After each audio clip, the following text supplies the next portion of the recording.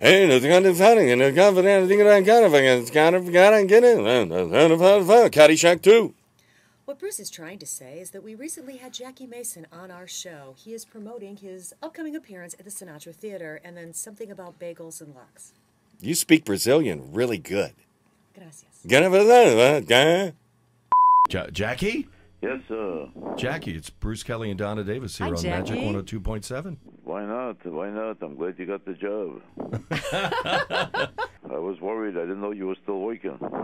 Jackie, are, are you awake, sir? Yes, sir. Not only am I awake, I'm raring to go. You know, it's not easy. It's not easy for these prices. Because this is absolutely Jackie free. is uh, coming up uh, January 22nd and 26th, two nights at the Sinatra Theater at the Bank Atlantic No, Center. no, it's only one night. It's the 26th. The 22nd. Wa- The 22nd was canceled because on the 22nd I'm going to be on the uh, Jimmy Kimmel show. So it's Oh, I'm sorry. I'm sorry. T- get him to change it on your website. It still still says the 22nd. website still the still website was supposed to be changed, but I have a very very late secretary. She doesn't get up till the, after the news is over. And here comes the out. And why are you always walking behind me? Don't don't press those up against me. Please don't. No, There's nothing yeah, to press. Yeah, yeah.